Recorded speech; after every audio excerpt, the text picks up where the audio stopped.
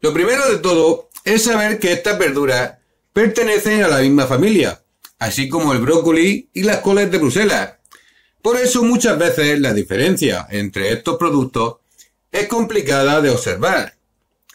Cuando hablamos de coles, viene a nuestra cabeza la imagen de una verdura redondeada de color verde oscuro y con muchas capas. La variedad más conocida es la col de Saboya, y para prepararse debe cocerse previamente para ablandar sus hojas, que resultan demasiado duras para consumir crudas. El repollo se parece mucho a la col en cuanto a su forma y color. Ambas verduras tienen una tonalidad verde oscura, son redondas y están compuestas por muchas hojas.